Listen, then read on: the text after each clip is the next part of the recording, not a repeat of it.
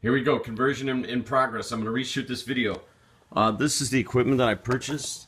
The multi-directional digital antenna antenna by RCA. That ran me 20 bucks.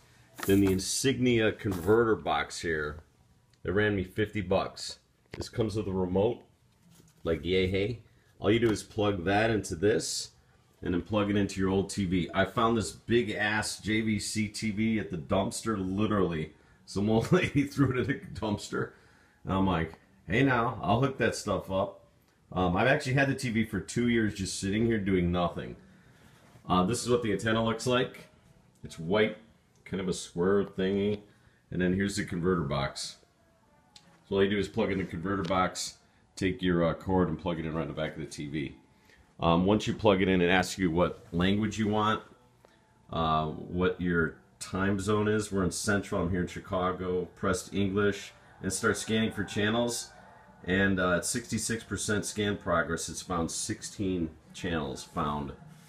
Um, I'm pretty excited about this. I haven't had Comcast for two years. I have not missed it at all because I have a big computer in the other room with the highest Wi-Fi internet speed that you can get.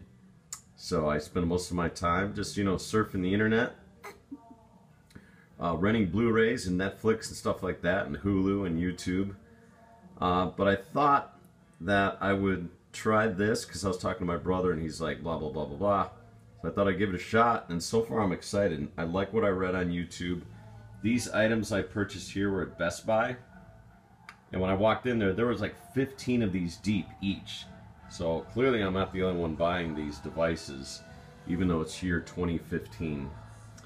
No, I won't get no Showtime or HBO or any of the great, great shows that are out there, but I will be able to get uh, upwards of 40 channels, I'm told. Right now it says 22. uh, but we're almost done with the scan here, so I'm going to keep rolling tape. I mean, the main thing I want is sports.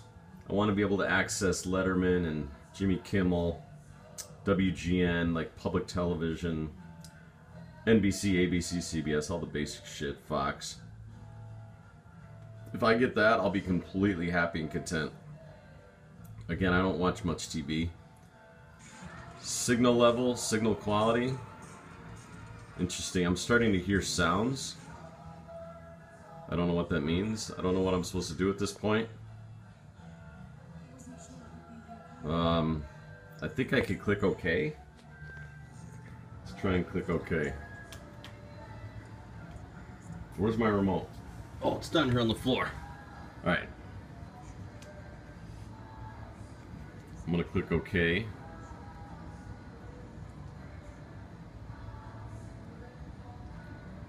I don't know what any of this means, but let's try WSHD. Well, there you go. So for 80 bucks, I'm getting ABC TV in HD with no monthly fee. I'm to adjust the screen aspect ratio. Um, see what other channels are on here. I don't even know how to surf channels. Oh, okay, there we go. Well, that's it. I really don't know how many channels it came out with.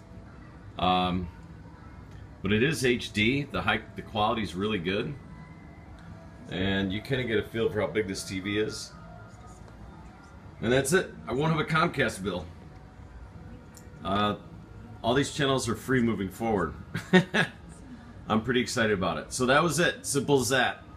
I've been told you can buy these same equipment at Walmart and Target.